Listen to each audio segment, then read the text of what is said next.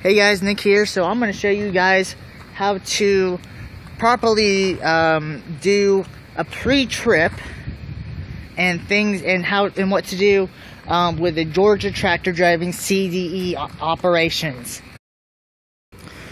So one of the first things on the list, um, well not on the list, but one of the first things that I do, and I've made it a habit with whatever I'm checking in a vehicle, is the tires. And this is on the list.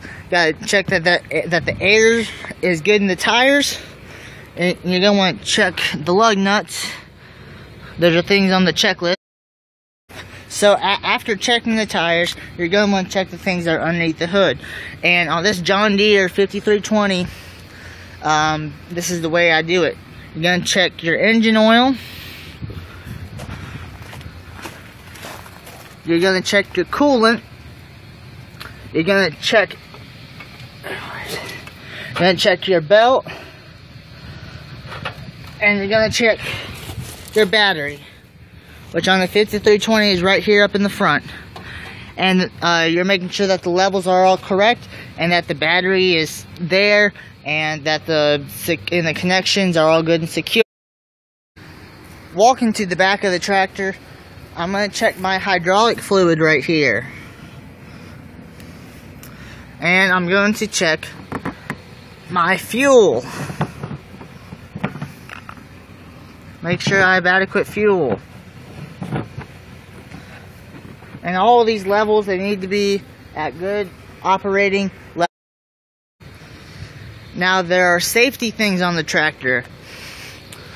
One of the big things is the rollover protection system.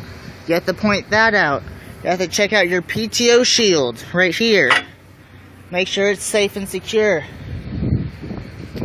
Coming to the front. You're gonna check your seatbelt. Make sure it's there and operating correctly. You're gonna check your your brake lock. So when you're driving out on the road, say you hit one brake, you're not going to go crazy. Another thing is your kill switch or your parking brake. Some of the things that they're going to check for when you start is when you get on the tractor. Make sure that you mount the tractor the proper way.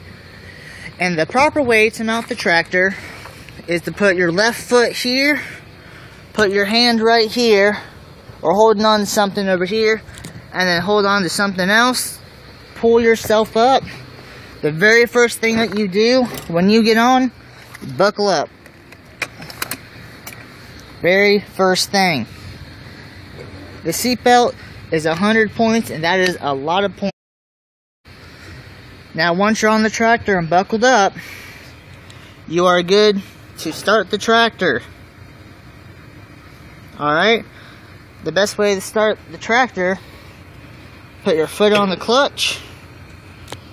And if the tractor's already been running, uh, then you don't need to do this. But if it's, say you're doing a cold start, you want to turn it to the accessory mode, let the glow plugs warm up.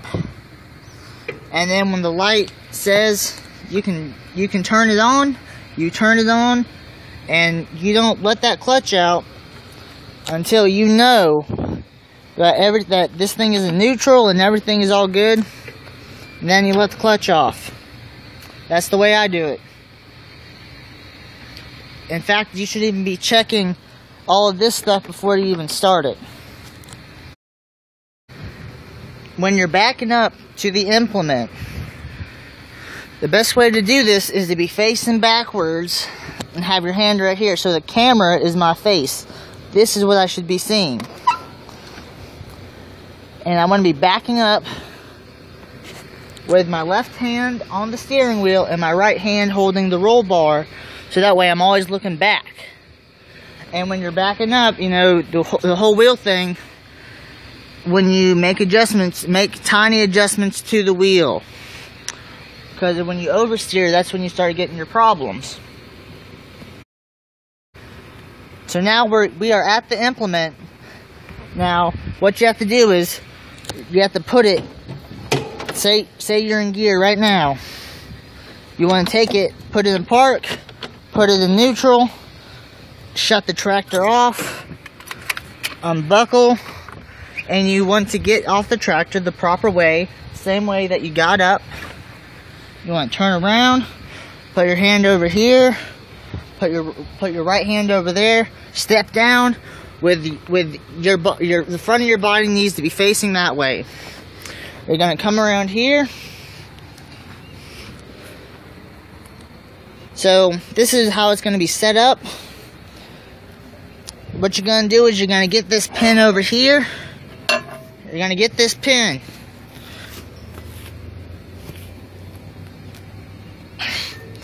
This is what you're going to have to do, except with two hands. It's hard to do it with one hand with a camera. You're going to drop this in. It, this little thing. Hold on one second. And put it in just like so, so it's attached. When you get that done, mount the tractor the right way, your hand over here, your right hand over here, your foot right there. Pull yourself back on, sit down, put your seatbelt back on, start the tractor up, and when you pull out, you don't want to be hitting any cones. Because when you hit a cone, that's a good amount of points. Okay, so we've gone through so we've gone through the curve, all right? And now we're going to back this implement up back into what's called the shed where they, where it needs to be. And the way you want to do that, you for me, and the way I was taught is you want to be in a very low gear. So in this tractor, for me, I always go in, in A1. No, excuse me, my bad. We're, that's forward. I'm going to want to be in reverse. So it's going to be AR to be backing up. And that's, that's very slow. You want to keep your revs down. And you want to back this puppy up slowly, making very small hand movements with the wheel. Because if you make too much movement on that wheel, it's going to jackknife pretty fast. And when you do that, you're gonna you're gonna go to the point of no return. Gonna have to pull up. You have to pull up, and that's points taken off. And you don't want that. So when you get the implement into the shed, you're gonna turn the tractor off Make sure it's in park. Unbuckle. Dismount the correct way. Hand over here, foot right there. You're going to come back here. You're going to unpull that. And in the competition, you're just going to throw this on the ground. And what they're going to do is they're going to measure it before you even touch the, uh, the pin to make sure it's even on each side. Because when you take this off, it's going to move. You see? And when you set it down, it's going to be it's going to be in a different position. Climb back up the proper way. Ugh. Hurry up, put your seatbelt on. Start your engine. Put it in gear. Put it in put it in C3 would not not C3 That's low. That's very excessive and very fast. And go. And when you cross that finish line, you're done.